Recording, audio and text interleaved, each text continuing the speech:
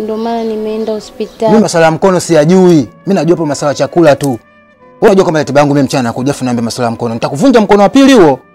Hebu nenda ndani kana endelee chakula mimi niliondoke. Nisamehe mume wangu. Kusamea samea mimi nitakubuta mimi. Ah, na haki bwana. Mtu unamtolea mahali laki nane. Anakumala kaja mka, mkaja mjomba, mkaja shangazi, mpaka inafika milioni.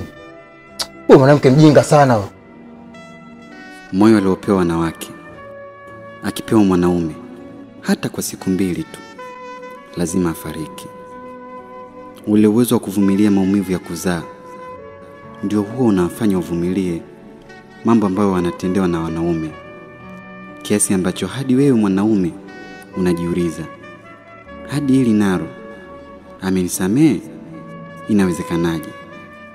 Kama kuna jambo wanaume huwa wanakosea, basi ni kudhani kwamba wanawake ni wajinga.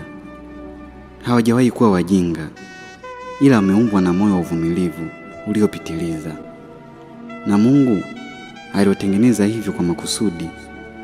Ni sawa na mwanamke anaweza kumvumilia mwanaume ambaye kwa miaka kumi anamgusagusa tu bila kumfikisha kileleni, lakini mwanamke yupo tu.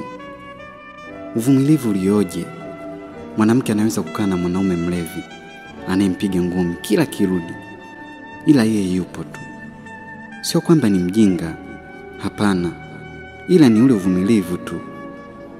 Kasheshe ni pale mwanamke huyu anapochoka, anaweza akavumilia miaka kumi, unampiga, anakufumania, humfikishi kileleni, ila siku akisema kwa heli ule moyo wa uvumilivu huo unageuka kuwa jiwe gumu, na hata uimbe mashairi ya bado Nakumbuka maneno yako, utonikimbia, utabaki na nami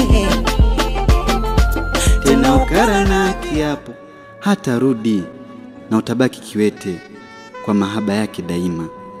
Kabla ya kufikia steji ya kumchoka, chonde chonde, kumbuka na yeye ana moyo, mpe anachostahili.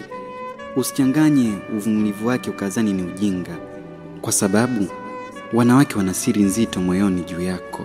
Follow me, Follow me. Follow me. on Facebook Ibra the Don, Instagram Ibra the Don